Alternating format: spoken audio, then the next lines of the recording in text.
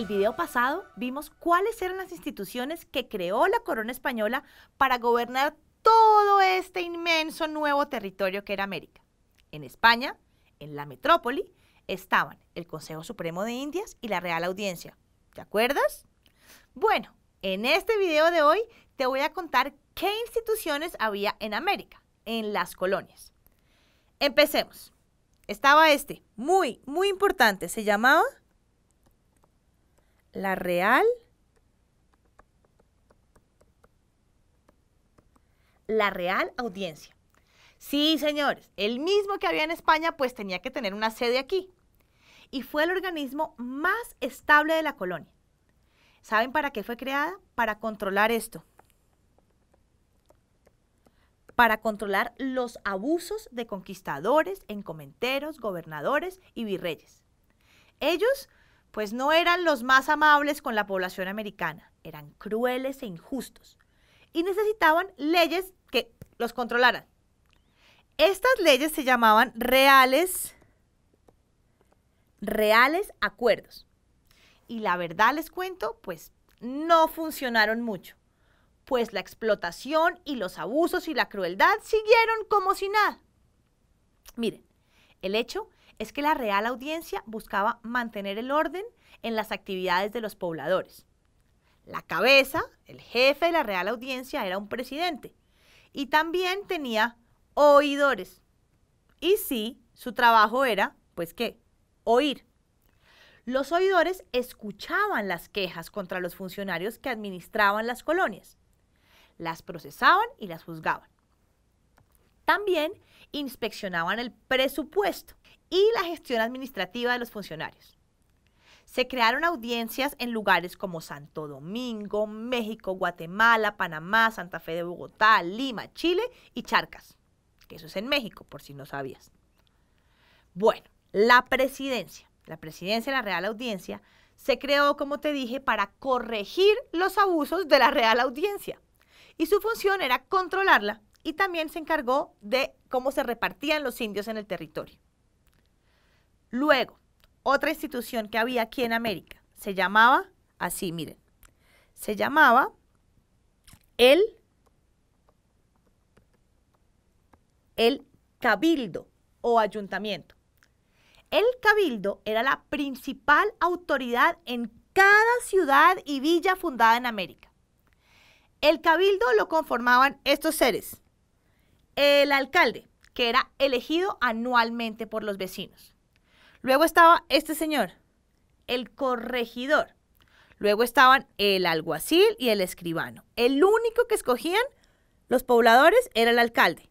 El corregidor, el alguacil y el escribano eran nombrados por el virrey. Este se encargaba de corregir abusos, el alguacil se encargaba de la seguridad y el escribano, pues, de escribir, ¿cierto? Miren, había dos maneras en que el cabildo funcionaba. Estaba el cabildo abierto y el cabildo cerrado. Ya te voy a contar después cómo funcionaba cada uno. Entre las funciones del cabildo estaban las siguientes. Tenían que administrar la población y garantizar su buen funcionamiento por medio de ordenanzas. Tenían que decidir sobre esto, sobre los precios de los productos básicos. Controlaban la actividad comercial, es decir, el intercambio de cosas. Y cuidaban el aseo de la ciudad y la salud de los pobladores. Lamentablemente sus funcionarios fueron generalmente corruptos, pues trabajaban por sus intereses personales y no por el bienestar de la ciudad. Entonces no cumplían lo que les tocaba. Luego había otra institución importante aquí en América, que se llamó la gobernación. La gobernación fue una institución que dependía, como todas, de la Real Audiencia y estaba conformada por varios pueblos de una región o provincia. A ver, te explico. El gobernador, que era nombrado por, sí, el rey allá en España, por periodos de 3 a 8 años de gobierno, tenía atribuciones civiles, judiciales y militares. Las principales gobernaciones fueron aquí en Colombia, por aquí, en Popayán, por aquí en Antioquia y hubo otras importantes arriba en Guatemala. Oye, ¿A ti te suena la palabra gobernación? Pues claro, porque es lo mismo que aún tenemos. Por ejemplo, Chocó como departamento agrupa muchos pueblos o municipios en el departamento. Es decir, Chocó es el departamento, Tado el municipio. ¿Ves? Lo mismo que hay hoy.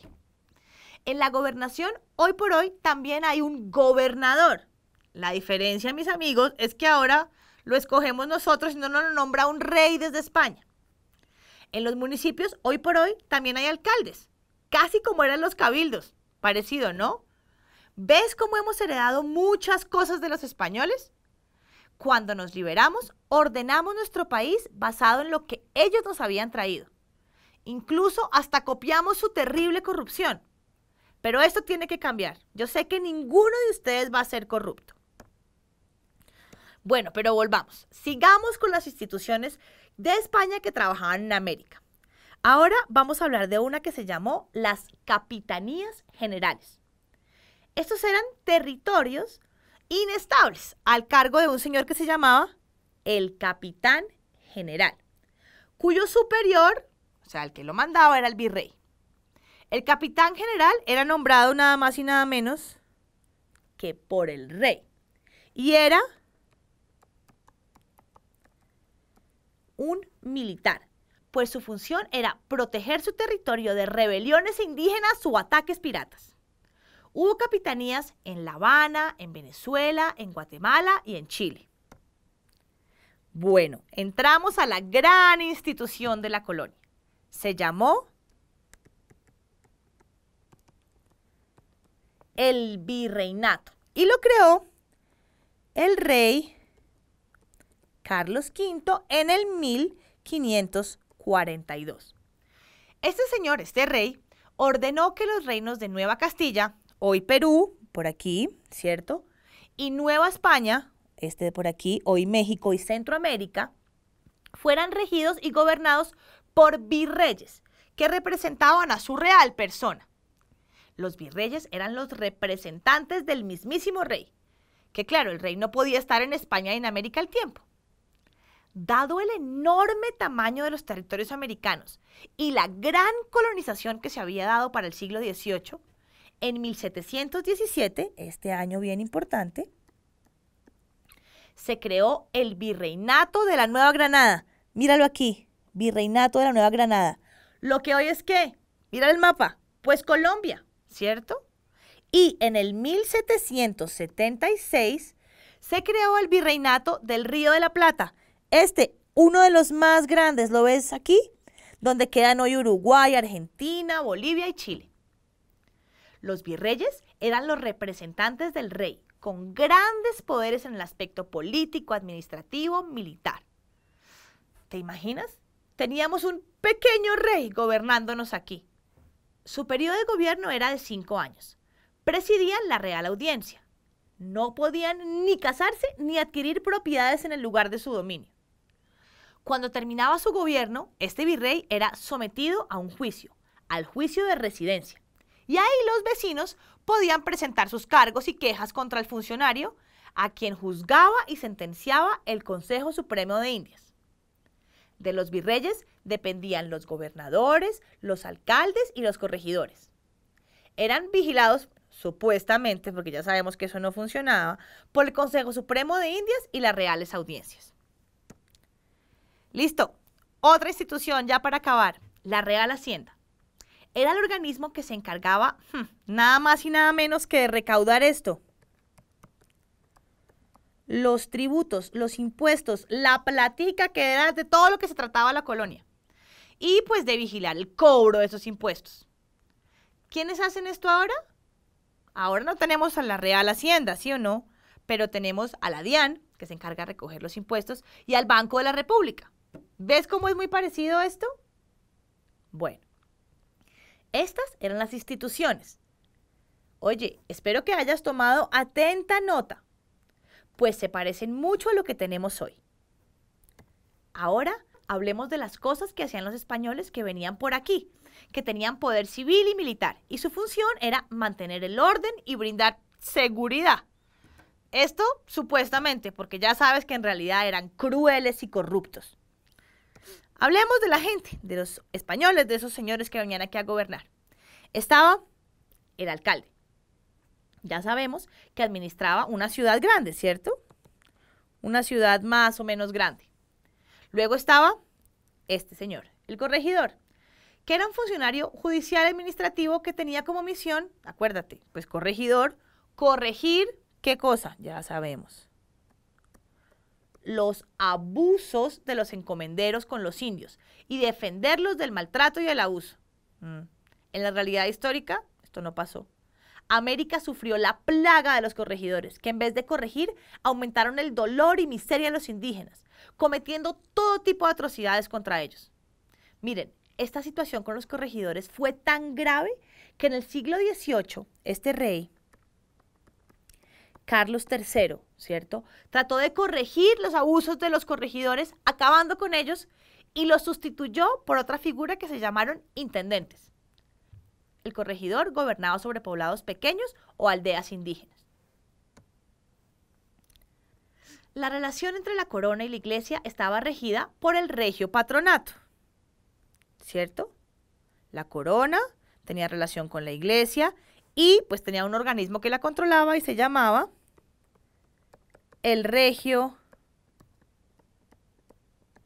patronato, ¿cierto? La corona controlaba la iglesia a su antojo, pero respetaba su labor evangelizadora. Sin embargo, oíganme, la iglesia jugó un papel muy importante en la colonia, pues llevó a cabo la evangelización de los indígenas. ¿Te suena? Ya lo hemos dicho mucho. Esto quiere decir que los convirtió al catolicismo. Así ellos no quisieran. Pero miren, también la iglesia defendió a los indígenas y a los esclavos negros y sobre todo se ocupó de la enseñanza y de la cultura. En el siglo XVI se crearon los resguardos o reservas para evitar la extinción de los indios. Los españoles agruparon a los poquitos indios que quedaban, a los que no habían matado o esclavizado, y los pusieron a vivir en corregimientos lejos del resto de la población y bajo el mando de quién? Pues de un cruel corregidor. Miren, aunque se suponía que los resguardos aquí, en estos sitios, se les respetaba la autonomía a los indígenas, y se supone que tenían sus propios cabildos, ¿cierto? Pues la verdad es que no se les permitía tener sus creencias religiosas, pues no faltaba el sacerdote que llegaba qué? A evangelizar, a imponer su religión. Miren, la verdad fue que los indígenas en los resguardos perdieron muchas de sus costumbres y además fueron despojados de tierras que hasta la llegada del hombre blanco habían sido suyas. Síntesis breve para ver eso de las colonias españolas. Había virreinatos, gobernaciones, capitanías generales y municipios. Títulos, es decir, personas, tipos que venían aquí a trabajar. Gobernadores, virreyes, presidentes, corregidores, oidores. Por ejemplo, adelantados, que eran como quesada jefes de expedición, que luego se nombraban gobernadores. Había visitadores y alcaldes. Organismos, instituciones. Repaso, repaso. La Real Audiencia, el Cabildo, ¿cierto? ¿Te acuerdas que te iba a contar sobre el cabildo? Un poquitico de paréntesis ahí. El cabildo equivalía al municipio español. Sus funcionarios eran elegidos por los vecinos de la villa. ¿Te acuerdas que podían votar una vez al año? En principio tenía un carácter democrático, pero en algunos casos, casi todos, fue controlado por los gobernadores, virreyes y reales audiencias. A veces sus cargos eran comprados. A su reunión habitual se le llamaba cabildo cerrado pero cuando había que tomar una decisión importante, todos los vecinos eran convocados y el cabildo se volvía abierto. Su función era resolver los problemas de la población que representaba. Listo. Por último, hablemos de esto. Una cosa que se llamó el derecho indiano. Esto era básicamente las leyes de Indias, las leyes para América. Los objetivos de esta serie de leyes fueron, uno, legislar sobre cada caso concreto y buscar solución. ¿Te imaginas? Cada caso. Dos, controlar los grandes problemas políticos y económicos que afectaban a las Indias.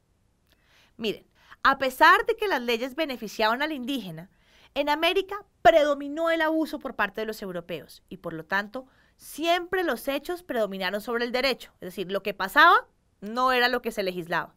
De allí el caos jurídico que siempre evidenciamos en nuestra realidad histórica.